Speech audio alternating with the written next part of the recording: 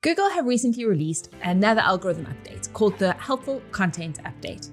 And the question in today's video is Is AI content going to be penalized in the algorithm update? And the answer to this question is yes and no. So let's get some clarity on this question. I'm Taryn from Informer AI.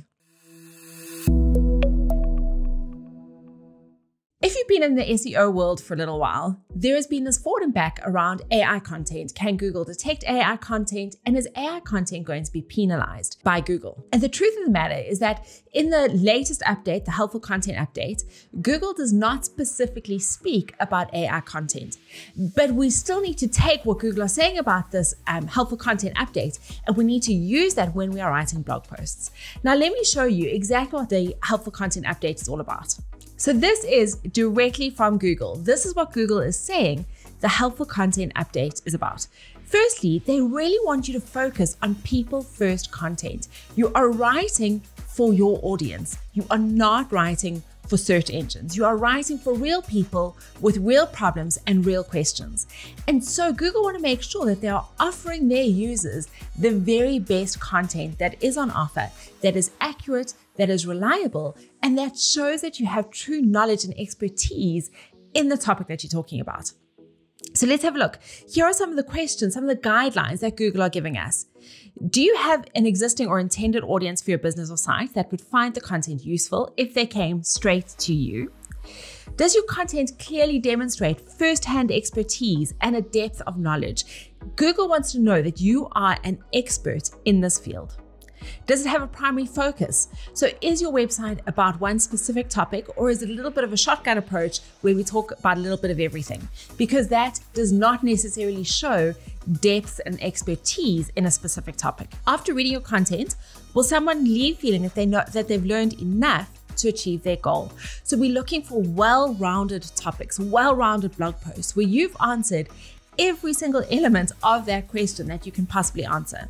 Will someone reading your content leave feeling like they've had a satisfying experience? So you're not just spamming, you're not throwing a whole lot of ads in there.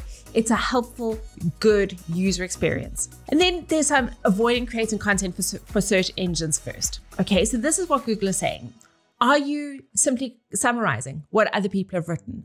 Are you, is it light and fluffy? You, you're trying to match a certain number of, of words. So you're writing a 3,000 art, word article when actually to answer the question, you could do it in a thousand word article. Are you um, trying to just do keyword stuffing? These are all the things that Google are looking out for. So now that we know a little bit about the helpful content update, how does that apply to AI content and content that's generated by Jasper AI? Can you still use an AI writing tool like Jasper to generate your blog content? And the answer is absolutely 100% yes. Let me show you how. So I've just logged into Jasper and for the purposes of this demonstration, I'm going to go through my documents. Um, this is available for those of you who are Boss Mode users, and I'm going to use power mode. Okay, so let's say I'm writing a topic on type 1 diabetes. Now, the reason that I've chosen this topic, firstly, is that my husband is diabetic, so I have some experience in type 1 diabetes and I have some knowledge about type 1 diabetes. And the other reason is that it's a little bit more technical than your average blog post. It's a little bit more medical. So let's type in a prompt of what is a healthy healthy. HbA1c for type 1 diabetics. Okay, so this I'm using the one shot blog post. It's new in beta, but hopefully it's going to spit out an entire blog post for us. Okay, let's have a look at how specific and how personal Jasper can make this blog post. So, achieving a healthy H, uh, HbA1c is a is the blog post topic. And then it goes into some specific descriptions around what an HbA1c and how it pertains to a type 1 diabetic. The thing is that this article could have been taken from anywhere on the internet, okay? It could have been a summary of a previous article that you may have found on Healthline or WebMD. So it's not particularly personal, it's not particularly, um, it doesn't necessarily show a level of expertise. So, how can we add to this topic? Well, firstly, you could talk about your last HbA1c results. I could mention my husband's HbA1c results. We can talk about how his HbA1c has changed over the last 25 years of having diabetes.